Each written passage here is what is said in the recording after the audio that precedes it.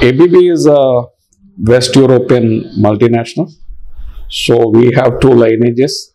A that is ASEA, which is the Swedish uh, lineage, and Brown Boveri BB that is the Swiss lineage.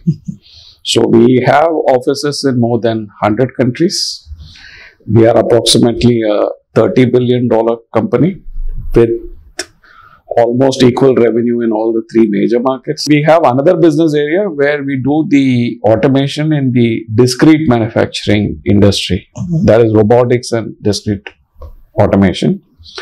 So typically in a discrete manufacturing is the easiest which is to be understood is actually the automobile sector. We have what is called as the e-mobility power solutions where we do what is called as the electrical chain.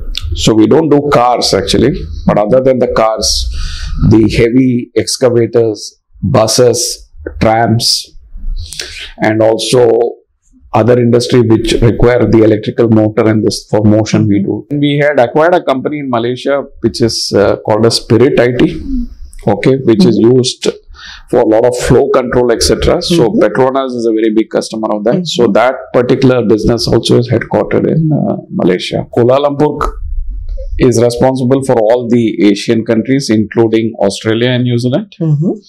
and India and China is operated separately. Okay. Okay. Then when we take uh, energy industry, it covers again ASEAN and uh, uh, Australia, New Zealand, Okay. Australasia. Australasia. Okay. And uh, when we take the robotics, as I mentioned to you, it includes all the ASEAN countries, Perodua and uh, Proton. Mhm. So a lot of the robots which is supplied there and the automation of those automobile industry is done by ABB. Service is a very key important part of the business, including remote service. So that's one thing which gives a valued advantage to us where the customer knows that ABB is there in case they run into any problem. Mm. Then we look at the oil and gas, which is very important, Petronas, etc. So to Petronas, we have supplied everything from Yeah. medium voltage, Yes. switchgear, drives, motors, etc.